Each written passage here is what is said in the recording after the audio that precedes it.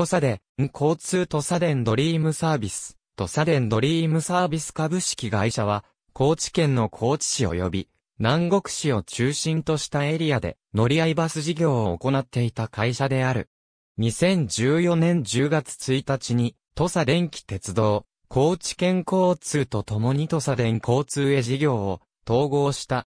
土佐電気鉄道のバス事業の経営効率化を目的として2001年8月29日に設立された土佐電鉄の子会社。本社は設立から移管まで高知県高知市三橋通り5丁目1番1号に置いていた。略称は利用客向けには土佐電ドリームバスまたはドリームバスで車内では単にドリームである。今や貴重となったモノコック車が2011年まで走っていたことでも知られる。移管直前の新車には白をベースに青いラインを斜めに入った新塗装及び土佐電鉄が進めていたドデンブランド戦略に基づく土佐電鉄と共通の緑をベースとした新塗装も登場した。2009年1月25日に高知県交通との共同で都電電車各社バス共通 IC カード、デスカを導入した。略称の TDS を特別天然記念物である土佐のオナガ鳥の形に図案化したもので、同社設立時より土佐で、交通へ移管されるまで使用された。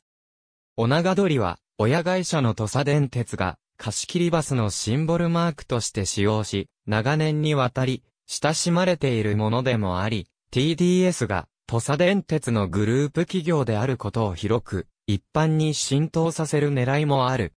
以下に記す、内容派土佐で、交通への移管直前の2014年9月30日時点のものである。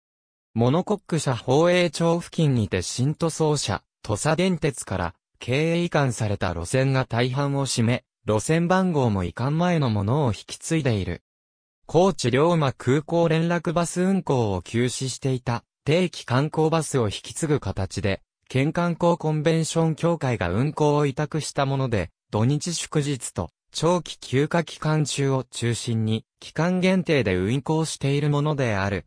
高知県交通との共同運行である。愛称の、前遊は、乗り降り自由な周遊バスの意に、土佐弁の、前遊をかけたもの。